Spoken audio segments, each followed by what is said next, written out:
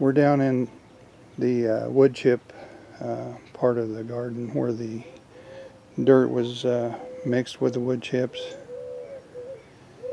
And this area right in the middle, if you look at from one end to the other end, you can see that in the middle they're not growing so well and that's because of the wood chips being mixed with the uh, dirt.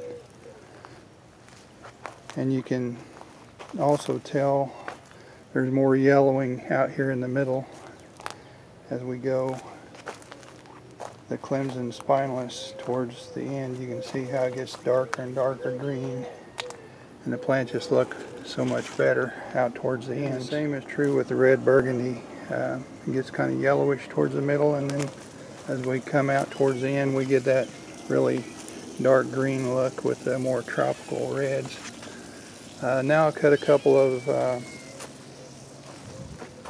okra off of these and we'll take a look at the difference in the okra that they produce. First of all, these okra are way too big to eat. I just let a couple grow so we could see them easier. I like to pick mine when they're about four or five inches at the most. I'm going to cut into these just so we can see. Uh, first, the uh, red burgundy, you can see is a little more slender and it's shaped a little bit different too. Cut into them. Of course, like I said, these are too big to eat. But here's a look at the shape of the two. These are already forming those big seeds. They are shaped differently. Now let's go take a look at the flowers on the two. They're pretty similar.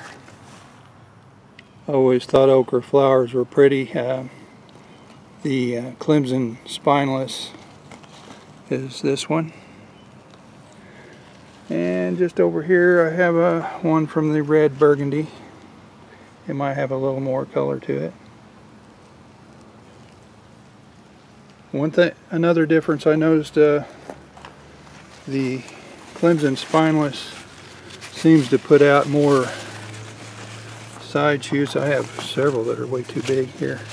But anyway, it sends out uh, more of these side shoots and seems to produce more okra than the red burgundy. The red burgundy was just kind of a try it for the fun of it type project.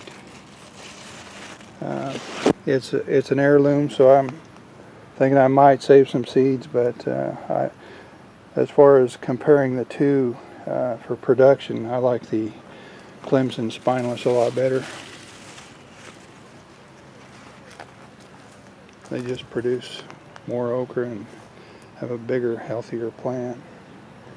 The uh, red red burgundy is got that kind of a tropical look to it. They're kind of cool looking, but if you're wanting uh, okra to eat, uh, it probably wouldn't be on my top of my list. But I just wanted to share how these are doing and also uh, show how the wood chips are affecting the growth on stuff on this end.